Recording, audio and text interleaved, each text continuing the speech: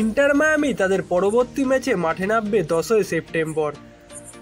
Inter Miami coach Gerardo Martino চাইলে ক্যালেন্ডারের পাতায় দিনটিতে লাল কালি দিয়ে দাগ দিয়ে রাখতেই পারেন।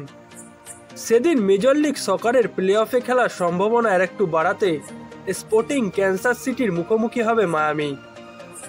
তবে অনেকেই ভাবতে পারেন, হোক না গুরুত্বপূর্ণ ম্যাচ, তাই বলে লাল কালির দাগ দেওয়ার কি আছে?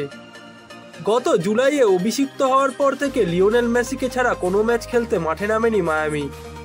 একাদশ হোক কিংবা বেঞ্চ, যেখান থেকে হোক মাঠে নেমেছেন আর্জেন্টাইন তারকা।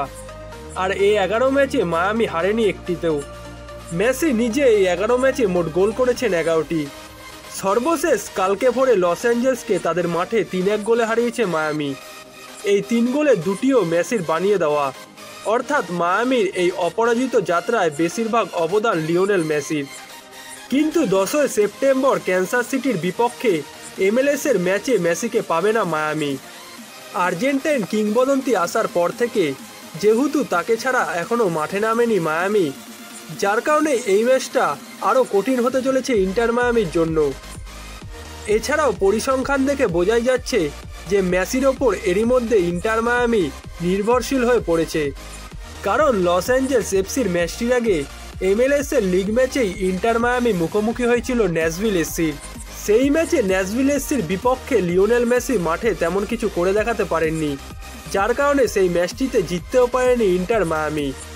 যার থেকেই বোঝা যাচ্ছে যে মেসির ওপর এরই মধ্যে ইন্টার মায়ামি নির্ভরশীল হয়ে পড়েছে। আর্জেন্টিনার হয়ে দু বিশ্বকাপের বাছাই পর্বে মাঠে নামার কারণেই লিওনেল মেসি দশই সেপ্টেম্বর ক্যান্সার সিটির বিপক্ষের ম্যাচটিতে খেলতে পারবেন না। দু বিশ্বকাপ বাছাই পর্বের জন্য পরশু স্কোয়াড ঘোষণা করেছে আর্জেন্টিনা। মেসির নেতৃত্বে বাছাই পর্ব খেলবে বিশ্ব চ্যাম্পিয়নরা।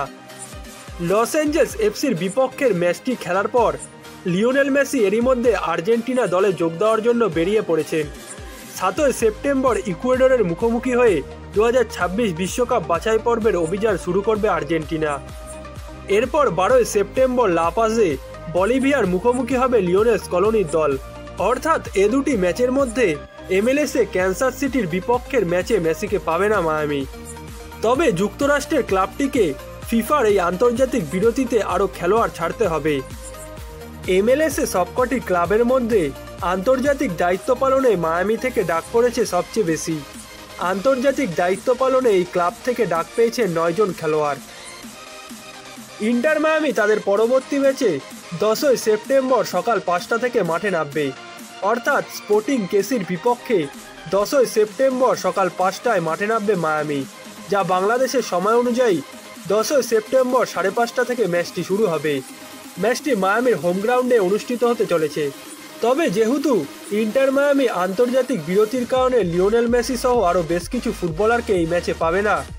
যার ফলে এই ম্যাচটি আরও গুরুত্বপূর্ণ এবং কঠিন হতে চলেছে ইন্টার মায়ামির জন্য।